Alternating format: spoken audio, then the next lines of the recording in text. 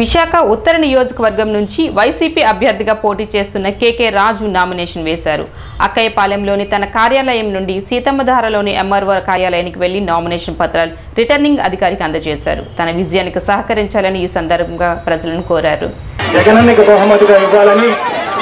ఉత్తర నియోజకవర్గంలో రాజన్న కళలు కన్నా రాజ్యం చూపించి సుపరిపాలన అందించి విశాఖపట్నం ఉత్తర నియోజకవర్గాన్ని రాష్ట్రంలోనే ఉత్తమ నియోజకవర్గంగా అభివృద్ధి చేసుకునే అవకాశాన్ని మనకు మనమే కల్పించుకోవాలని ప్రజా సంక్షేమమే ప్రభుత్వ ధ్యేయమని విశాఖ అర్బన్ జిల్లా తెలుగుదేశం పార్టీ కార్యదర్శి దొడ్డి రమణ అన్నారు.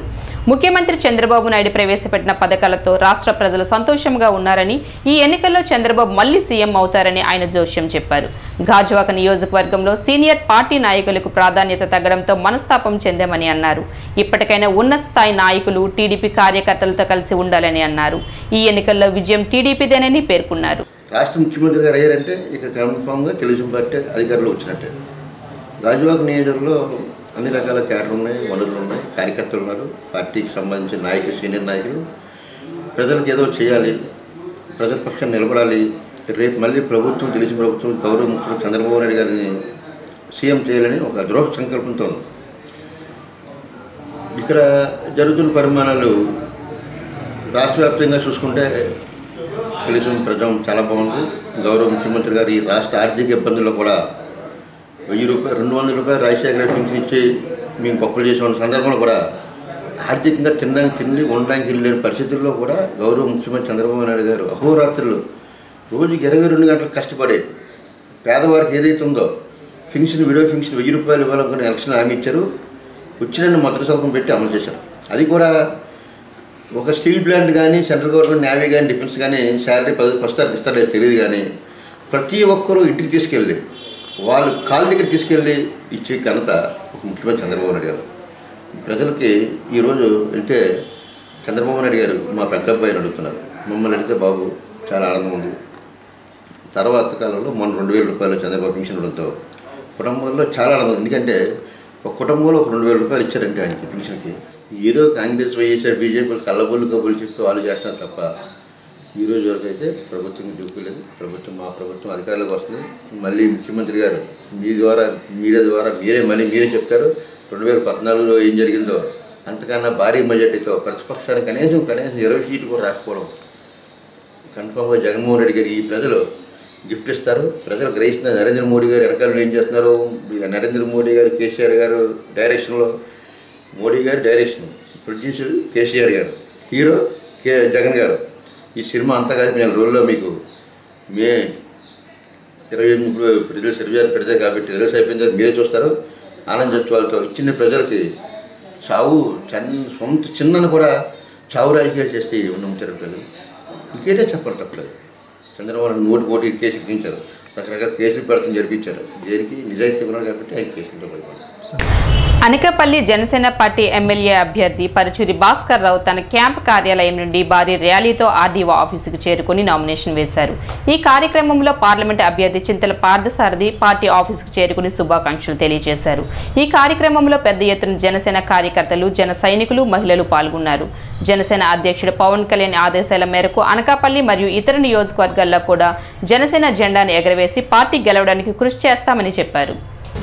ఈ ఆంధ్ర రాష్ట్ర పదమూడు జిల్లాలు విడిపోయి ఈ రాష్ట్రం సపరేట్ అయిన తర్వాత ఈ రాష్ట్రానికి కష్టకాలంలో ఉంది.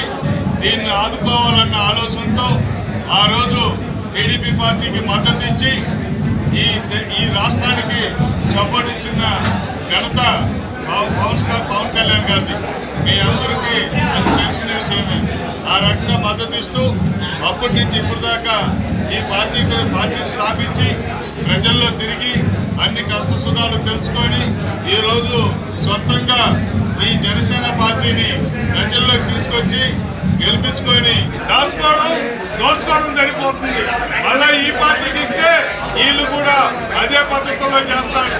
కానీ మంచి జీవితాన్ని ఈరోజు ముప్పై కోట్లు నలభై కోట్లు రెమ్యునరేషన్ ఇచ్చే సినిమా ఫీల్డ్ కూడా పక్కన పెట్టి వ్యవస్థను ఓట్లు లైఫ్ పక్కన పెట్టి దాదాపు మూడు నెలలు మన శ్రీకాకుళం విజయనగరం విశాఖపట్నం జిల్లాల్లో ప్రతి గ్రామానికి మండలానికి ప్రతి ఊరూరు తిరిగినటువంటి పవన్ కళ్యాణ్ గారు ఇవాళ గాజువాక నియోజకవర్గంలో ఎమ్మెల్యే అభ్యర్థిగా ఇవాళ నామినేషన్ దాఖలు చేస్తా ఉన్నారు.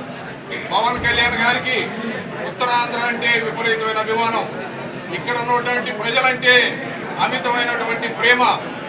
ఇక్కడున్న వెనకబాడుతనాన్ని మనం ఎదుర్కొని ఏదైతే మిగతా జిల్లాల్లో ఇప్పుడు రాయలసీమ ప్రాంతం నుంచి చాలామంది ముఖ్యమంత్రులు వచ్చారు కృష్ణా జిల్లా నుంచి వచ్చారు గుంటూరు జిల్లా నుంచి వచ్చారు మన ఉత్తరాంధ్ర ప్రాంతం నుంచి ఇంతవరకు ఒక ముఖ్యమంత్రి రాలేదు సోదరుడు భాస్కరరావు గారు చెప్పినట్టు. మనం దాని మీదే ప్రత్యేకంగా పోరాటం చేద్దామని చెప్పిన ఉద్దేశంతోనే పవన్ కళ్యాణ్ గారు ఇవాళ విశాఖపట్నంలో ఉన్న గాజువాకలో పోటీ చేస్తున్నారు. పవన్ కళ్యాణ్ గారు ఇక్కడ పోటీ చేయడం వల్ల ఒక్క గాజువాకలోనే కాదు మనకి ఉత్తరాంధ్రలో ఉన్నటువంటి ముప్పై నాలుగు నియోజకవర్గాల్లో కూడా అది చాలా పాజిటివ్గా ప్రభావం చూపిస్తూ ఉంది. పవన్ కళ్యాణ్ గారు నాకు కూడా చెప్పారు నేను అనకాపల్లి నియోజకవర్గంలో ఉన్నటువంటి ఏడు పెందుర్తి కాంగ్రెస్ అభ్యర్థిగా బరిలో నిలిచిన ఆడరి రమేష్ నాయుడు ఈ రోజు నామినేషన్ దాఖలు చేశారు. ఆయన కుటుంబ సభ్యులు అనుచరులతో కలిసి పెందుర్తి నుంచి భారీ ర్యాలీగా వచ్చి ఎన్నికల రిటర్నింగ్ అధికారి తేజ్ భరత్కు నామినేషన్ పత్రాన్ని అందజేశారు. ఈ సందర్భంగా రమేష్ నాయుడు మాట్లాడుతూ తన కుటుంబానికి ఎంతో రాజకీయ చరిత్ర ఉందని అన్నారు.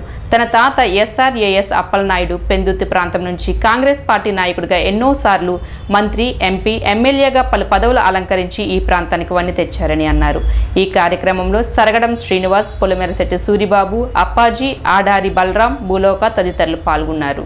గుర్తించి మా తాతలైనటువంటి ఎస్ఆర్ఎస్ అప్పలనాయుడు గారు గతంలో ఎమ్మెల్యేగా మరియు మినిస్టర్గా కూడా చైర్మన్గా మూడు దఫాలు పర్వా అంకాపిల్ కాన్స్టిట్యున్సీకి ఎంపీగా చేసి అందుకు కాంగ్రెస్ పార్టీ మమ్మల్ని గుర్తించి మరి పెందుత్ కాన్స్టిట్యున్సీ నుంచి ఎమ్మెల్యేగా పోటీ చేయమని ఆదేశించడంతో కాబోయే ప్రధానమైనటువంటి రాహుల్ గాంధీ గారికి మరియు మా పిసిసి ప్రెసిడెంట్ గారు రెడ్డి గారికి మరియు మిగతా పెద్దలందరికీ కూడా మా కృతజ్ఞతలు చెప్తూ దొంగ శ్రీనివాస్ గారికి కూడా కృతజ్ఞతలు చెప్తూ ఈ అవకాశం ఇచ్చినందుకు మేము పెందుతు ప్రాంతాన్ని గతంలో మా తాతలు ఎంతో అభివృద్ధి చేశారు మరియు ఈ అవకాశాన్ని మాకు కూడా ప్రసాదించినందుకు మేము కూడా పెందుతు ప్రాంతాన్ని అభివృద్ధి చేయడానికి మా సాయశక్తిలో కృషి చేసి పెందుతు ఓటర్లందరినీ కూడా మాకు ఒకసారి ఒక అవకాశం ఇచ్చి గెలిపించమని మనస్ఫూర్తిగా కోరుకుంటూ ఆ వెంకటేశ్వర స్వామి దయ వల్ల మీ అందరికీ సేవ చేసే అదృష్టాన్ని భాగ్యాన్ని మాకు ఇవ్వాలని చెప్పి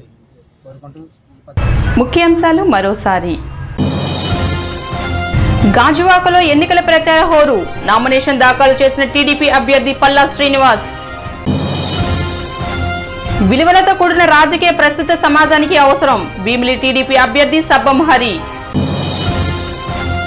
రాష్ట్రానికి కేంద్రం ఎనలేని సాయం అందించింది. గాజువాకలో బీజేపీ అభ్యర్థి పులుసు జనార్దన్ రావు ప్రచారంలో నేతలు వ్యాఖ్య. గాజువాకలో నామినేషన్ దాఖలు చేసిన జనసేనాని ర్యాలీగా వచ్చిన పార్టీ అధినేత పవన్ కళ్యాణ్. ఇంతటితో ఈ వార్తలు సమాప్తం. తిరిగి వచ్చే బులెటిన్లో కలుసుకుందాం. అంతవరకు సెలవు నమస్కారం. జర్నలిజమై శ్వాసగా అక్షరాలే అభ్యుదయంగా. స్థానిక సమస్యలు మరియు సామాన్యుల మనోభావాలపై అనుక్షణం అసలైన సమాచారం ఆవిష్కరిస్తూ సామాన్యుడి కష్టం నుండి ఇష్టం వరకు వారధిగా నిలుస్తూ మీ ముందుకు వచ్చింది.